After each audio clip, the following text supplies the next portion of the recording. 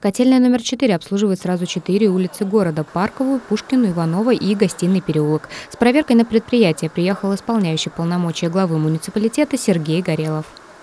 Посмотрел, что здесь работа ведется, котлы работают, 25 домов, которые обеспечиваются теплом, они находятся под теплом. Напомним, что в нашем городском округе продолжается запуск отопления. На данный момент тепло есть уже в 1034 многоквартирных домах. Осталось запустить теплоноситель в 292. Большая часть социальных объектов также начала обслуживаться.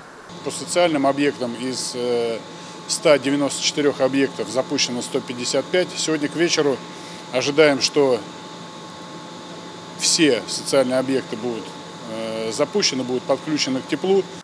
По плану подключение домов и социальных объектов продлится до 1 октября. Если на ваш дом уже запущено отопление, но в вашей квартире тепло пока так и не появилось, обязательно звоните в свою управляющую компанию и требуйте устранения проблемы на внутридомовых сетях.